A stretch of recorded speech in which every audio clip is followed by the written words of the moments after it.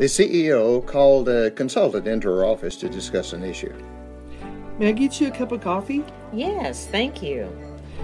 Our internal surveys show that we have a communication problem. Can you help us with that? As I entered the building, I noticed several employees sitting in a lounge, laughing and talking over coffee. Yes, I think the employees really appreciate their new lounge. Do you ever go into the lounge? Oh no, it's for the employees. Well, if you really want to improve communication, I suggest that you stop by the lounge occasionally and chat with the employees.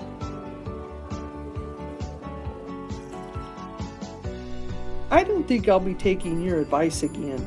I stopped by the lounge and told the employees I was there to answer their questions. They didn't say anything. It was very awkward. Stop by more. If employees are talking about fishing or their weekend, lean in and listen.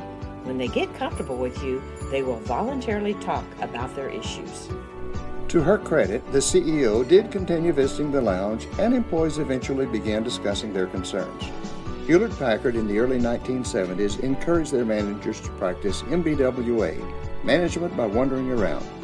Many leaders today find it effective to periodically chat with their employees in their locations with no agenda other than their interest in the employees.